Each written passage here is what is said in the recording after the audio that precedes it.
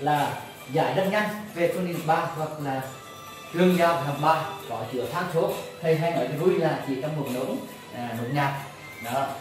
À, để hạn chế cái tập âm thầy à, mở thêm cái tiếng nhạc vô dưa thì qua đó thầy cũng mong các em những cái thầy khi vừa giảm video các em vừa học bài thì chúng ta có một cái, cái không khí thật ấm cúng hơn. Qua đó đem đến những cái sự tiếp thu tốt nhất và các em đem đến kết quả thành công sau này. Ở đây thầy nói chơi qua đấy là mình có rất nhiều cái bài toán. Có chứa tham số liên quan đến phương trình ba hoặc tương giao với phương trình ba tương giao với phương trình ba và thầy sẽ chỉ cho các em chiêu để đánh giải nhanh, rất nhanh nhé ở đây, có thể nhanh mà mình có dùng thủ thuật gì đó, có thể nhanh nhanh dùng một tí thì ở đây, đương nhiên là mình tự lòng về cách, gọi là cách ờ, thầy hàm chế nhất. Nha đó, thì qua hai cái ví dụ này thầy ghi bản thôi trong xịn mẹ em sẽ làm một loạt bài toán mà liên quan đến cái họ bài toán này. Và bây giờ qua đó chúng ta sẽ tự tin hơn. Rồi bây giờ chúng ta bắt đầu này rồi bây giờ chúng ta vào cái phần quan trọng nhất là giải quyết nhanh cái, những cái ví dụ hoặc những cái bài tập về họ hay là dạng bài toán mà liên quan đến phương trình bậc ba hoặc là tương giao với hai bậc ba mà có chứa tham số m. Thì cách rất đơn giản nhất là mẹ em nhớ là bước một thì sẽ bước một mẹ em, là mình chuyển phương trình về dạng phương trình ba, có nghĩa là điểm phương trình có thể phương trình cho về trái phải thì mình chuyển tất cả về qua về trái để cho về phải bằng không. Hoặc phương trình hoàn đồ giao điểm trong bài toán tương giao thì mẹ mình chuyển về về phương trình ba. Thì ghi đây là chuyển về phương trình bậc ba. Đó. Chuyển về phương trình bậc ba mẹ em. Bậc ba có nghĩa là mẹ em chuyển về phương trình bậc ba sau khi cái phương trình của mình. Nó sẽ tương đương. Đấy, em sẽ chuyển về là cái phương trình bậc ba có dạng là a x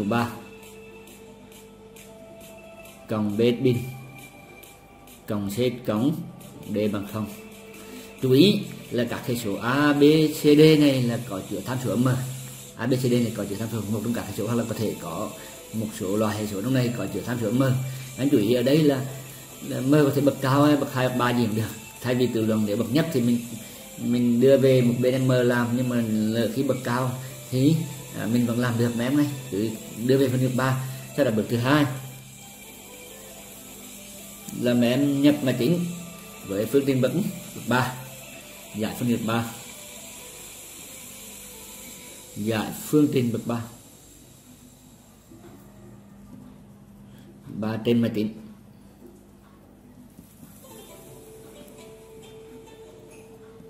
đó. Bây giờ chạm trên ba trăm máy tính nhiều cái bước này mẹ em. Đây mẹ em giải trong ba mình thay chuyển về bên bình thường này. Mẹ em bấm, ví dụ mà chỉnh Vinacan mẹ em. Dùng về trên ba thì ai bấm được? Ví dụ trong Vinacan thì bấm một, năm. Đây. Thì qua Casio thì mẹ em chọn ngay cái hệ số, chọn ngay số một, hai, ba nữa ra được phân được ba Vinacan thì mẹ em bấm ngồi tên xuống cái hoặc lên mẹ em này. Mẹ em chọn số 2 đây. Số 2 đây mẹ em là ra phân được ba. Và chưa? Để ra bây giờ bây giờ nhập các hệ số ABC đây chuyển về máy tính bây giờ từ cái phân được ba ra rồi mẹ em chưa à, mẹ em nhập các hệ số ABC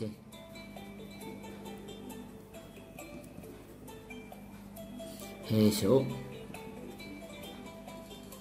abc ở đây. Như em thấy trong phương trình đó có M nữa làm sao mình nhập? Nhưng mà em ghi là với.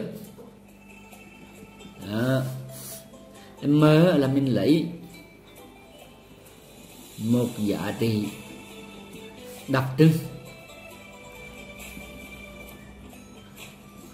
của đáp án. Đó đặc trưng của đáp án. Giá trị đặc trưng là như thế nào là dạ giá trị mà mẹ em lấy. Em mơ đáp án này có đáp án hiếm có. Để mẹ em phân biệt bên loại bên thỏa. Sau đó mẹ em nhập cả số vào, sau đó bước ba. Bước ba là phương trình ra nghiệm. Phương trình sẽ ra nghiệm. Theo đúng yêu cầu của đề thì chọn đó, theo đúng. Yêu cầu của đề thì mình chọn này đó. theo đúng yêu cầu của đề thì mình chọn. Thấy chưa? Đó. Như vậy giả sử họ yêu cầu là có ba phân biệt thì mình bấm ra ba phân biệt thì mình chọn. Họ yêu cầu phương phương trình là có hai nghiệm thì mình bấm ra phương trình hai nghiệm thì mình chọn. Họ yêu cầu phương trình có một nghiệm âm và một nghiệm dương thì mình bấm ra phương trình có một nghiệm âm nghiệm dương thì mình chọn. Rất đơn giản. Được chưa? Đó. Rồi bây giờ giả sử thầy làm cái ví dụ một nhé. Giờ thầy sẽ làm cái ví dụ một tiếp theo này ví dụ một trong ở trên à, bảng trước đây thầy chép á. Trong này thì trong tài liệu của mình đây thầy ghi là câu 2 đấy rồi mà anh chú ý là vì không có thời gian thành ra là mình chỉ cần à, mình làm phương pháp mình tính thôi thầy không làm cái phương pháp tự luận ở đây. Thì khi nếu mà em làm phương pháp tự luận thì có câu thì đưa về điều kiện này thì đơn giản. Còn đưa thì mình câu đưa về cái phương pháp khác thì nó là phức tạp hơn. Còn khi mà em làm Casio thì chỉ một có một cách thôi. Và quan trọng chúng ta phải xử lý nhanh bây giờ họ nói này tôi đọc lại cái đề ở ví dụ một trước đây mình đọc này là với giá trị nào của tham số m để cái đô thị này chỉ có một điểm chung với trục khoanh chỉ có một điểm chung với trục khoanh thì về đây anh này thì mình trục khoanh mà em. Trục khoanh này này trục khoanh có nghĩa là mình gì mà em là mình có phương trình là y bằng à y bằng không. Như vậy đây xem như là tương giao giữa hai đồ thị nhưng mà một cái đồ thị là hai bậc ba và một đồ thị rất đơn giản là, là đường thẳng y bằng không thôi. Thì sau này nó chỉ có một điểm chung với đường thẳng nào đó thì mình ghi cho cái đồ thị của mình bằng đô thị hàm số bao mình bằng đường thẳng đó. Yeah. hoặc là anh này với với một cái parabol thì mình chọn cái này bằng cái parabol. Và việc phân trình và mình chuyển về phân định ba. Rồi thì anh này các thầy các cá số này đâu còn mình đi qua nhạc gọi là phương trình hoàn đồ giao điểm. Bây giờ phương trình hoàn đồ giao điểm là mình có được cái m trừ một nhân với x mũ ba cộng cho x bình trừ m bằng. À, bằng không. Bây giờ khi đó em có phân định ba rồi em này và việc chúng ta là em chỉ cần thử đáp. À thử đáp án. Như thử. M bằng đáp. À, đáp án. Vào phương trình. Và mẹ em bấm phương trình. Đương nhiên ở đây thì đáp án a. Bây giờ mẹ em ví dụ là thử a. Đây mẹ em thử. Đáp án a mẹ em. Thử đáp án. Thấy ghi là a. Thì mẹ em cho m một vào. Vì cái này đơn giản quá thì thầy làm trụ cống luôn. Ví dụ một thế vào là bằng x bình trừ một bằng không. Dẫn đến được là x bằng cộng trừ một thôi. Mình loại hai vì cái này. Đơn giản thầy không làm mình làm gì? Phải chưa? Bây giờ tiếp tục là mình thử đáp án. À thử đáp án b đi mẹ. Bây giờ b như thế này và c thế này thì mình thấy này, cái b này nó, cái nghiệm của nó là hợp nghiệm của hai gắn C và D luôn. Vì vậy mà em sẽ thử B này. Thì thử B thì mình phân biệt có hai loại, thì sẽ phân biệt giữa B với C đi. Thì ta cho M bằng cái gì mà B có, mà C không có. Nha ví dụ B đều có như thế này, M nhỏ không, vì vậy thầy lấy B có C có B là thầy lấy cái này M trong lớn hơn 43 này. Thì thầy thử là M bằng 43 thầy cho bằng 5 đi. Thấy chưa? Rồi, bây giờ xem thử, nếu thỏa thì mình chọn đáp án B. Có nghĩa là mình mình lấy được bằng B và C mình loại. Còn nếu không thỏa thì mình vứt đáp án B mình có thể lấy. Để C ví dụ như vậy. Bây giờ thầy xem cho mẹ. Em bây giờ mẹ xem nhập này. Bây giờ đây phương trình bậc ba. Thầy lại làm lại từ đầu đi. Rồi nhập phương trình bậc ba mà em. Đây thầy để bên này. Nhập phương trình bậc ba là mẹ em bấm à, một năm.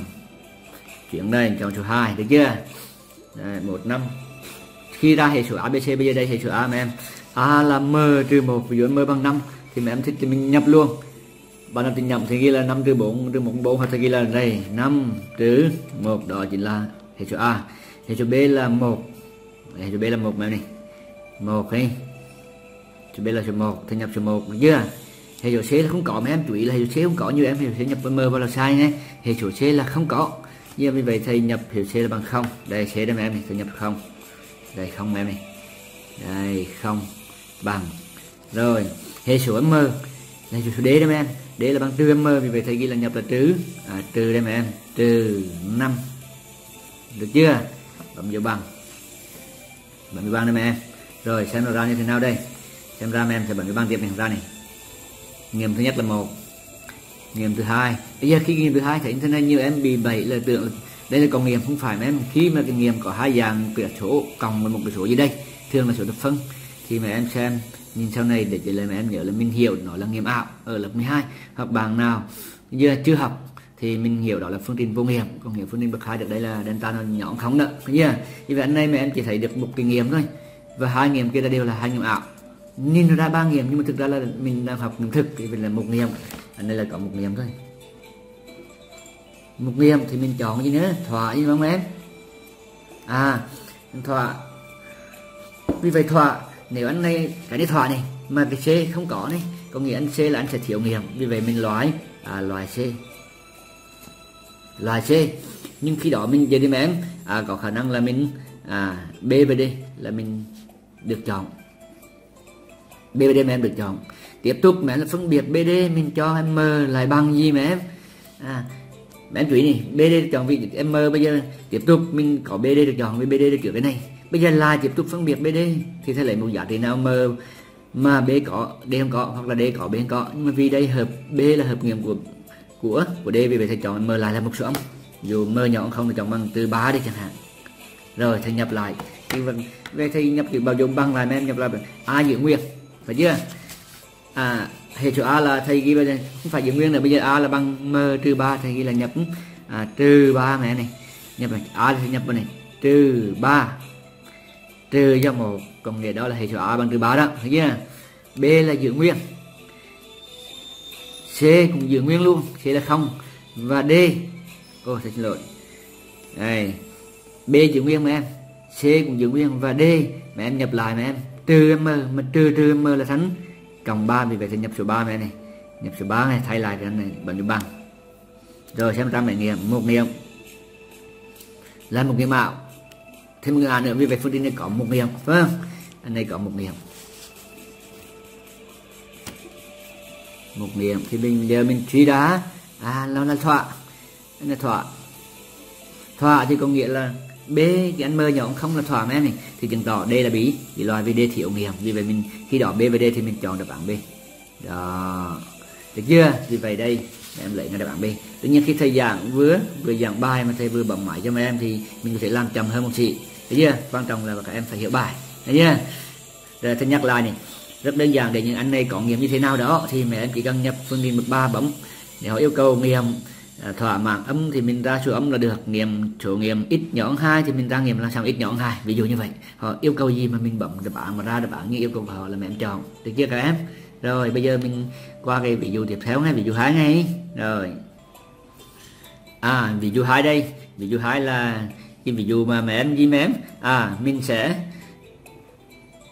có câu 4 vì hai là câu 4 trong cái tài liệu của mình đây này. Đây, thầy làm câu 4 trong tài liệu của mình ví dụ hai, đây mình đọc cái đề nó khá, thấy nó có vẻ nó khá phức tạp đấy.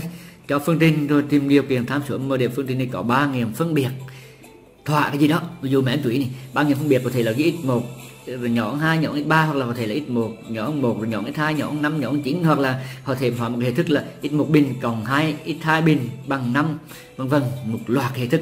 Thì ghi hệ thức ở dạng bậc phương trình đây hệ thức ở đẳng thức là cũng vậy thôi mà. Em tùy hết em chú ý rất đơn giản. Mình chỉ cần là thay vì cái phương pháp tù luận là mẹ em gì mẹ em à, mình cô lập một bên là fx và một bên là em m và mẹ em lập bảng những thiên này và cố gắng chạy cái đường thẳng im như thế nào đó để cho nó thỏa mãn bài toán là mẹ em làm. Thấy chưa?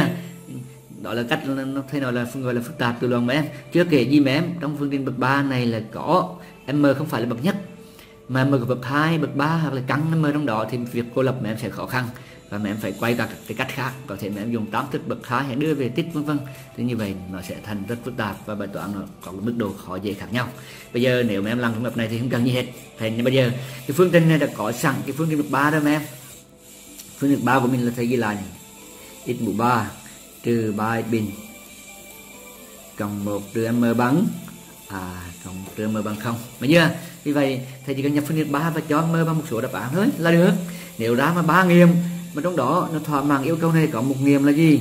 Nhỏ hơn một và hai nghiệm kia buộc phải. Phải là hơn một thì mình chọn thôi. Bây giờ thầy làm nhanh hay rồi bây giờ chúng ta khăn này. Trở về lại ban đầu, nhập cho các em biết. Đâu mà em nhập bốt. Được chưa?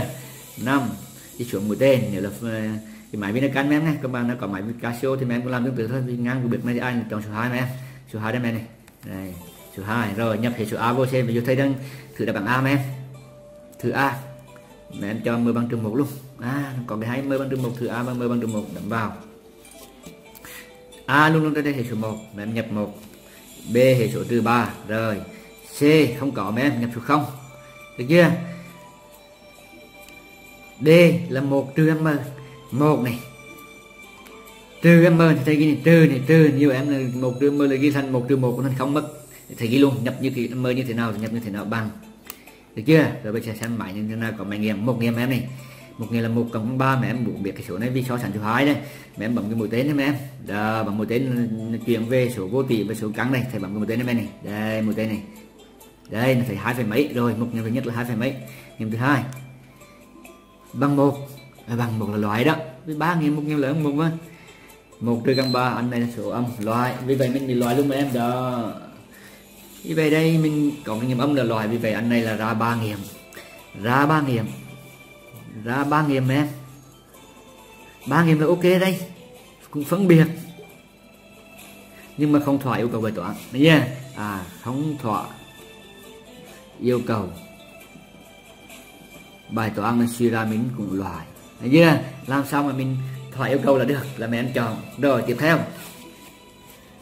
Câu B, bây giờ phân biệt giữa B và C. Ví dụ thầy ờ, bia khi đó, mình loại bằng m bằng trừ một thì thầy loại không chỉ loại loại gì mà em? Loại A mà mình còn loại gì nữa? À mình còn loại D này, vì D có chứa trừ một em đi. Anh D cũng có chứa trừ một đấy chưa? Đây đây hai này, vì vậy hai này mình dính nó, mà là bị loại thì mình loại cả loại cả A và loại cả à, cả D luôn em. Được chưa? Bây giờ còn gì? À, còn B và C. Thì tiếp tục mà em thử B và thử à thử C. Thì mẹ em chọn bây giờ mình chọn số nào B có mà C không có đi. Anh này là trừ một nhỏ hơn M nhỏ hơn ba. Mà anh này vì vậy thầy lấy một anh giả sử B có C không có thầy lấy số hai đi cho đẹp? Hai bên này có bên kia không có. Rồi tiếp tục thấy lại trở về làm đầu. Nhập hệ số A như cũ em này. Được chưa? A như cũ. Được chưa? B cũng như cũ luôn trừ ba luôn nhưng C cũng như cũ luôn và D. Mẹ em chỉ cần việc nhập số mấy đó mẹ em. Một trừ m mà thầy cho m bằng m bằng mấy rồi thầy cho m bằng hai này. M bằng hai là của anh đáp án. Đáp án B. Rồi thầy nhập m bằng hai là cũng để thầy ghi là một trừ hai. Ghi đây mẹ em. Một trừ m luôn và trừ trừ hai. Đương nhiên là thầy thầy thấy ghi trừ một luôn. Thầy ghi như vậy đó vì một số bạn là chứ mẹ à, mình từ những tiền nhập cũng sai luôn. Thầy nhập vô cho bọn cái bằng. Rồi ra thử một nghiệm ba. Thì sẽ mình x1 bằng 3 mấy em mà nhớ nghe ít hai trừ ra loại đó không? x3 x3 là một cái anh vô tỷ này. À anh là số số ảo mà em cộng dấu dấu trừ này cộng trừ được một cái nghiệm ra hai cái thành phần cộng lại nhau thì đó là, là vô nghiệm hay là em hiểu. Sau này mình hiểu đó là gì đấy à, nghiệm ảo thì bấm là này. Một nghiệm là x bằng 3 một nghiệm này cũng nó có hai phần mà em này. Mà có dấu cộng trước thì mình hiểu đó là phương trình vô nghiệm hay là khi mình học chương trình 12 chương cuối sự phức thì anh này là nghiệm nghiệm phước đấy mà nghiệm nghiệm nghiệm phước. Vì vậy anh này cũng sẽ vô nghiệm loại. Vì vậy anh này chỉ có một nghiệm thôi một nghiệm có một nghiệm thì cũng vậy. À không thỏa yêu cầu bài toán vâng. Không thỏa. Vì vậy loại loại. Thì anh này mình loại loại anh nào mà dính mình nó chữa, mơ bằng hai đó. Thì mình loại loại gì mà em? À loại b. Chưa? Là mình loại b đi. Thế. rồi, mình loại b thì vứt đi b thì mình chọn gì mà em? Suy ra cái c là cuối cùng mình chọn c đấy, thì vậy bạn này mình chọn c đấy mẹ em thấy thấy lại hai cái ví dụ, được chưa? Hai ví dụ đặc trưng để cho các em hiểu cái cách mà tìm mơ để phương trình có bao nhiêu nghiệm thỏa mãn bài toán. Và mình làm như thế nào? Chú ý thầy nói là này cái loại thứ nhất là họ biểu phương trình này có ba nghiệm rất đơn giản, có hai nghiệm rất đơn giản, có một nghiệm cũng rất đơn giản. Nhưng cái loại thứ hai là mức độ nó khó hơn. Có ba nghiệm hay có hai nghiệm hay có một nghiệm mà thỏa mãn yêu cầu nào đó, ví dụ có hai nghiệm dương, một nghiệm âm, hay là có hai nghiệm thỏa mãn một cái thứ nhất nhỏ hơn số nào đó lớn hơn, vân vân. Hoặc có hai nghiệm hoặc có ba nghiệm thỏa mãn cái hệ thức nào đó của x1 cái thai 3 ví dụ x1 bình cộng hai thai bình, trừ 3 một thai bằng 2018 chẳng hạn, thì mình cũng làm như thế này mà em làm trong thỏa thể vô theo yêu cầu, thỏa yêu cầu phù này của đề này câu thứ hai những cái bài toán mà gọi là khó nếu mà em làm tự luận á thì mình sẽ thế vào. Thỏa yêu cầu bài toán của em chọn. Ok được chưa? Đó mẹ em sẽ đã, đã tự tin qua hai cái ví dụ này chưa? Thầy đã nói qua hai ví dụ này là mẹ em có gì đó mẹ em tự tự tin. Bây giờ thầy cho các em luyện tập những câu tương tự hoặc những câu gì mà em trong cái dạng toán tất cả những phương trình bậc ba có chữ tham số. Và việc luyện tập này á, là thầy đưa cái đề sau đó thầy sẽ cho đáp án các em sau đó các em khi nào mình làm không được thì mấy em comment ở bị ấy mấy em chú ý đừng mình comment ở dưới youtube luôn để gì mấy em? Để thầy trả lời trong đó. Khi mình mấy em comment vào, vào facebook thì sau này thầy kênh lên cái kênh youtube thì nó là gì mấy em? À nó là bị chạy mất nó bị trôi bài mấy em. Nên là mấy em mấy em sẽ comment ở dưới đó thì thầy sẽ trả lời trực tiếp ngay. Và thầy sẽ có cái hệ thống để gì mà em? Nó bảo trực tiếp cho thầy. Khi mà em nhắn lên là thầy sẽ trả lời trực tiếp và cấp bách cho các em liền rồi bây giờ các em qua những cái ví dụ và để các em luyện tập nữa nha. Rồi bắt đầu này. Câu một. Đây thầy đọc là cái đề luôn. Ví dụ mà em vô thể cũng rõ rồi. Để cho các em luyện tập. Mà em chú ý mình phải bắt tay luyện tập thì mình mới à, mới giỏi được. Chứ mà em xem rồi mình thấy cũng nhìn đọc đọc đọc đoạn như vậy là không học đồ mà bắt tay giải thật sự. Bây giờ bài thứ nhất này có một đồ thị bậc ba các đường thẳng y bằng này tại ba điểm phân biệt. Để nó hỏi ba điểm phân biệt thôi thì giá điểm mới là là thỏa mãn là bạn gì đây? Được chưa? Đó, thực hành đấy nghe đó là câu thứ nhất. Mẹ em chạy vào hoặc là mẹ em có thể nhìn video mình đừng lại. Được chưa? Rồi, bây giờ qua câu thứ hai. Rồi, bây giờ được hai mẹ em. Với giá trị nào của m thì đường thẳng này này, cắt trục khoanh tại ba điểm phân biệt. Nhưng mà lại có phân đố. À có hành đồ là hơn một đấy, nó có một điểm phụ, có hành đồ là hơn biệt chỉ cần cắt ba điểm phân biệt và cậu hành đồ là một là được yêu cầu bài toán. Được chưa? Là thỏa mãn yêu cầu bài toán rồi mẹ em cũng thực hành nha. Thực hành cắt trục khoanh thì ý bằng bằng không việc phân hành đồ giao điểm nhập cái nào đó. Được chưa? Rồi. Qua ví dụ thứ ba. Qua câu tiếp theo là câu 5 mẹ em. Thầy đọc cái đề. Mẹ em chú ý đây là nguyên cái đề và họ vẽ đồ thị cho mình. Nhưng mà khi mẹ em làm cái phương pháp Casio của thầy, cái phương pháp của mình thì mình cũng cần dùng đồ thị luôn mà mình làm được ngay. Vì mục đích của cái đề là cho cái đồ thị để mà em dùng cái đồ thị đó để mà em biện luận cái phương trình này và thỏa mãn yêu cầu bài toán. Rồi đọc của đề của năm em này. Tìm tất cả giá trị m để cái phương trình x mũ 3 trừ 3 bình cộng 4 cộng m bằng không. Cái này đồ thị này in bị lỗi chạy qua đây. Có nghiệm duy nhất lớn hơn hai. Đấy nhìn nghe cái vẻ, cái đề nó có vẻ hơi khó khó mình thấy nó khó khai thác đấy, nhưng thực ra nó đơn giản. Biết đồ thị này, rồi gọi như hình bên đó với điều kiện là họ dùng cái đồ thị thì họ cho mình đồ thị và mình, vì quan trọng mình cần luôn, mình khỏi cần cái ý này mà khỏi cần hình dạng đồ thị. Mình vẫn làm được. Nhập phương trình gì mà em? À phương trình ba này rồi mà em nhập hệ số theo yêu cầu trong cái đề này. Chọn đặc trưng. Bấm ra. Nếu có một nghiệm nếu chú ý là một nghiệm nhất thì có một nghiệm mà nghiệm đó lớn hơn hai thì mình chọn. Còn nếu có hai nghiệm cùng loại, có ba nghiệm cùng loại, có một nghiệm mà nghiệm đó nhỏ hai cũng nhỏ bằng hai là loại luôn mẹ em yêu cầu là yêu cầu là lớn hai mẹ em này, thì phải lớn hai, chứ bằng hai cùng loại mẹ em này. Rồi làm tiếp này. Rồi em tiếp tục khánh nha. Chị thầy cho đáp số tất cả các câu. Tiếp các em. Đây, bây giờ qua câu 6 cho hàm số y bằng như thế này. Có đồ thị C. Giá trị tham số m để các trục phân tại ba điểm phân biệt. À lập thành cấp số cộng được mới hay vâng. Lập thành cấp số cộng. Có nghĩa mà em ra ba nghiệm x1 x2 x3 lập thành cấp số cộng có nghĩa là theo từ từ này x1 x2 3 này. Thì mình chỉ cần biết cấp số cộng nó liên quan trung bình cộng, có nghĩa là anh dừa sẽ bằng trung bình cộng của hai hai anh đó, vì vậy khi mà em thử, em mơ vào đáp án, mà làm sao mà ra ba nghiệm, mà làm sao có một nghiệm này là trung bình cộng của hai nghiệm kia là mình à là mình chọn. Để thầy luôn, thầy nói qua, trung bình nhân luôn là anh dừa lấy cấp số cộng em này. Nếu bữa sau mà ra cấp bài cấp số nhân, cấp số cộng, cấp số cộng ghi tắt, cấp số nhân, thì cũng x1 x2 3 thì gặp số nhân thì anh dựa sẽ bằng trung bình nhân của hai anh đó. Như vậy mình thử mình mơ vào bấm phương điện ba ra, ba nghiệm thỏa mãn. Như vậy là mình mình chọn được chưa? Các em thấy tự tin dân chưa? Đấy, tất cả những câu mà mình thấy là bình thường. Thay vì mẹ em giải tự luận nó quá phức tạp. Phải không em? Mẹ em tự giải tự luận nó quá phức tạp đâu mẹ rồi, tiếp theo. Rồi, bây giờ tiếp theo mẹ này. Câu 7 cho hàm số này.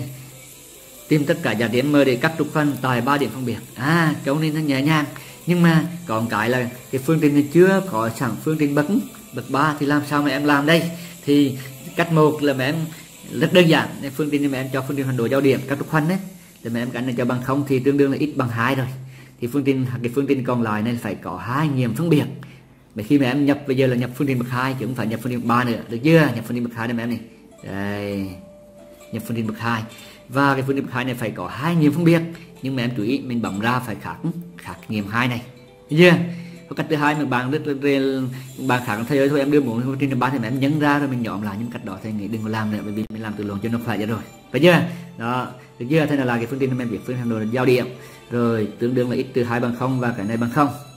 Sau đó mẹ em chỉ bấm phương trình bậc hai mẹ em nghe bấm phương trình bậc hai. Phương trình bậc hai thì ai cũng biết bấm rồi. Ngay cả bằng những, những bằng lập chính đã biết bấm phương trình bậc hai rồi phải không em? Rồi sau đó mẹ em nhập các hệ số a b c theo yêu cầu của gì? Cái đề chọn giá điện trưng. Và mẹ em nhập ra chỉ cần có hai nghiệm. Phân biệt mẹ em để học vì có ba nghiệm thì phải có hai nghiệm phân biệt mà khác số hai này là được. Thì chưa các em? Rồi, các em luyện tập đến bây giờ thầy sẽ cho các em, bây giờ chúng ta có một chút khởi động. Rồi sau đó mẹ em thầy sẽ cho đập số, hay?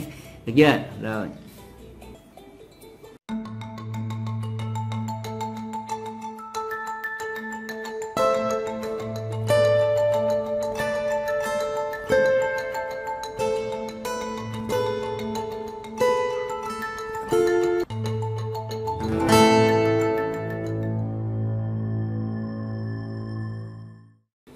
Rồi bây giờ các em nhìn kết quả đây được chưa? Câu một đáp án C các em nha. Câu một đáp án C. Bạn nào mà nhập không được hoặc mà em nhập bị lỗi gì hoặc ra đặt số khác thì mẹ em có thể comment ở dưới ngay YouTube trong cái bài giảng trong cái bài giảng hôm nay này mẹ em này để thầy sẽ trả lời cập nhật ngay dưới cái, cho các em ngay cái đó luôn ngay cả câu câu, câu bình luận của các em đúng không? mẹ em nhớ lên nhập đừng nhập vô Facebook vì sao nó sẽ trôi bài của các em sẽ trôi bài gì cả. Chứ kể là mình khi mà em nhập Facebook thì nó không liên quan đến cái bài này khi mà em comment vào mà em chú ý rồi, câu 2 câu 2 này là thầy nhắc lại câu này mình đã giải là cái câu ờ, thì bị dùng một đó rồi. Thầy đã đoán, thầy đã giải đây, câu 2 b đây mẹ em xem qua thì mình được 15 video thì tổng tắt là vì thầy ra bảy ví dụ đặc trưng thôi. Được chưa? Rồi. Câu 3 đây, câu 3 đáp án A. Được chưa? Câu 3 này. Đấy, được chưa? Mẹ em thấy rõ chưa? Rồi.